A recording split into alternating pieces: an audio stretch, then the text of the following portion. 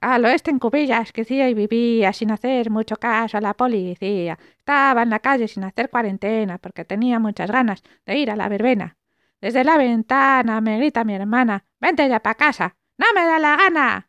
Con el alboroto se acercó una moto y me preguntó ¿qué, qué tenía roto? Él me dijo, si nada te pasa, deberías volver a casa.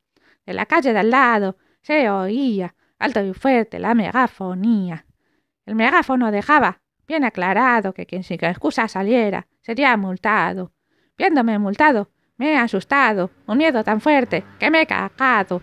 ¡Qué gran pena! Adiós verbena, por el bien común. Hay que cumplir la cuarentena.